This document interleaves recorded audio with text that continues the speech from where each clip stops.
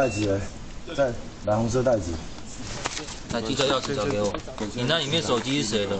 我女儿的。范闲坐在地上，被警方团团包围，不止全身上下搜一遍，机车置物箱也不放过。检察官合法的拘票。强盗？为什么是强盗？你先听我念。自己做过什么，心里没有底，但警方可是查得很清楚。事发在台北中正区厦门街三号清晨，二十八岁蔡姓范闲日前向吴姓被害人借一万两千元买毒，但事后拖拖拉拉不还钱，还不满屡屡被催讨债务，一气之下伙同曾姓朋友持刀到吴姓被害人住处谈判，双方一言不合大打出手。过程中，除了徒手殴打，还拿椅子、手持刀背等武器攻击无姓被害人，造成头部、左手臂、背部等多处骨折、操挫伤。最后甚至行抢钱包、手机等私人物品。而附近居民听闻砍人纠纷，全都吓了好大一跳。那个以前就有发生过事情？